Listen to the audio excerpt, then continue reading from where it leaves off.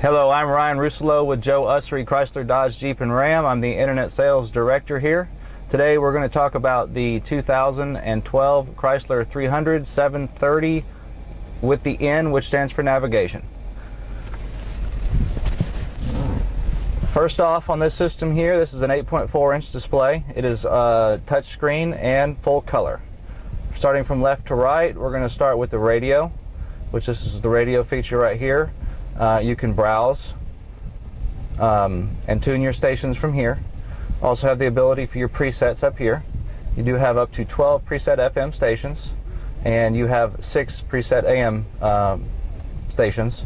Uh, going right, uh, you have the ability to plug in an uh, MP3 player or iPod. Uh, we have an iPod interface uh, inside here and also a USB under controls, we have the ability to operate your driver and passenger side seats. They are heated. There's a high and a low setting. You push it once for high, twice for low. Um, they're also vented as well. Uh, same thing, once for high, twice for low. The 300C also comes with a heated steering wheel as well, and that button is located right there. There's a power rear sunshade as well. You just push that button right there, and that's going to go up, and you push it again, to retract it.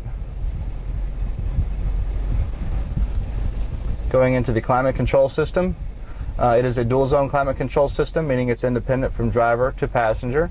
From there you can set your settings for the driver and for the passenger as well.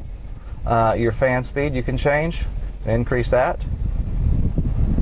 Uh, you can also sync it where if you want the driver setting to be the same on the passenger side, you can do that by pushing this right here and it moves it. So if I move this side, it's going to move the passenger side as well. Uh, also, the direction of where your fan is blowing is located right there as well. You just touch